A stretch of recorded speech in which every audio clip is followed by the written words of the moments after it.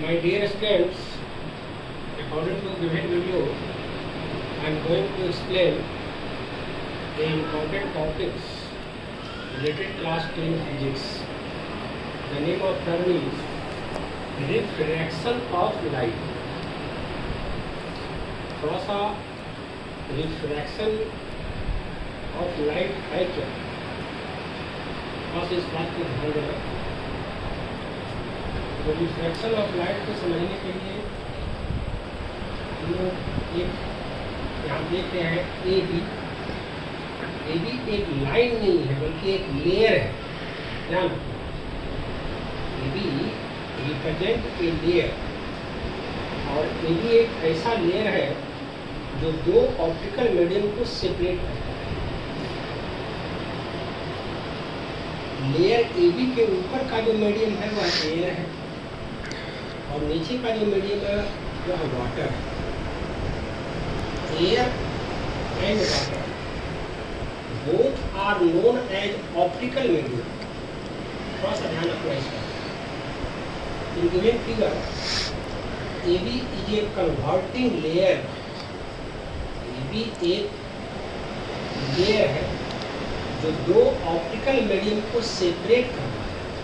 यहाँ एक नया नेम आ रहा है optical medium in physics a medium through ray of light crosses या passes easily that's all optical medium air इससे भी लाइट का क्रॉसिंग इजीली होता है। वाटर भी वाटर से भी लाइट का क्रॉसिंग इजीली होता है। इसलिए वाटर को भी आप ऑप्टिकल मीडियम कहेंगे तो ये भी एक ऐसा लेयर है जो दो ऑप्टिकल मीडियम को सेपरेट करता है।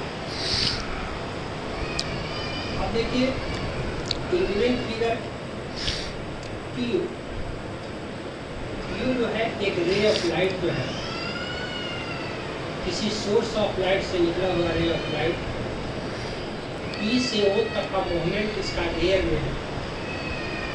अगर ए बी के बाद भी एयर ही हो, ध्यान पी से ओ तक का मूवमेंट पी ओ किसी सोर्स ऑफ़ लाइट से निकला हुआ रे ऑफ़ लाइट ओ का इंसिडेंस रे है। अगर ए बी के बाद भी एयर नहीं होता यह ray of light P O straight line movement करते आगे की लेकिन ऐसा होता नहीं है। वो पॉइंट के बाद मीडियम चेंज करता है। मीडियम रेयर से डेंसर हो जाता है। यहाँ दो ऑप्टिकल मीडियम है एयर और वाटर वाटर को एयर के रिस्पेक्ट में डेंसर मीडियम और एयर को वाटर के रिस्पेक्ट में रेयर मीडियम का इस बात को ध्यान यहाँ रे ऑफ़ लाइट का जो मूवमेंट है रेयर टू डेंसर यदि वो पॉइंट के बाद भी एयर होता तो यह ray of light straight line movement करते हुए लेकिन ऐसा होता नहीं है। वो पॉइंट पर पहुँचने के बाद मीडियम चेंज है। जब मीडियम चेंज करता है तो यह रे ऑफ़ लाइट जो है, अपना रूट चेंज करता है। अगर आगे भी एयर होता तो यह ray of light straight line movement करते आगे क्यों बढ़ता लेकिन ऐसा होता नहीं है। वो पॉइंट पर आने के बाद मीडियम डेंसर हो जाता है।